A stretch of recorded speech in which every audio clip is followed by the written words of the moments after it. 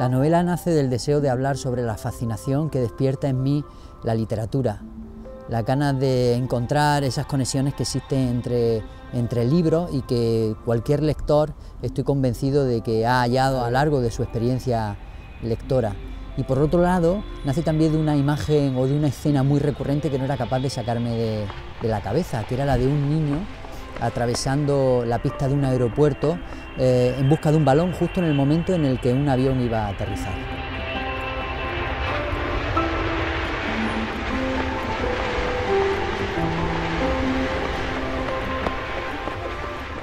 Ese es el origen en la, en la novela, pero el origen de qué lleva a escribir al autor esta historia es un mail de un viejo amigo que 25 años después, sin saber nada de él, le propone que escriba sobre aquello que le ocurrió, sin saber qué era realmente lo que había ocurrido. Eh, así que inicia un proceso de búsqueda, de investigación, eh, hasta darse cuenta que efectivamente ese viejo amigo, Simón, esconde algo.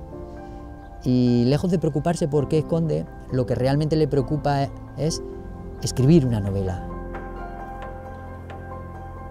En la novela eh, hay una especie de manual de cómo escribir una novela. Es como una especie de juego metaliterario, pero cargado de humor. Es una parodia, en cierto modo, de eh, cómo escribir una novela.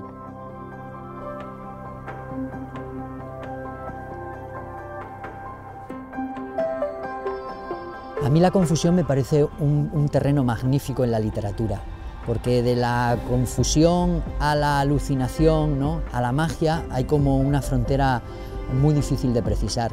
A mí me gusta identificar o jugar a identificar el autor, el narrador, el protagonista, porque arrastro al lector a esa confusión y mi esperanza es llevarlo a esa alucinación porque creo que hay misterio y la literatura no se puede explicar sin, ese misterio.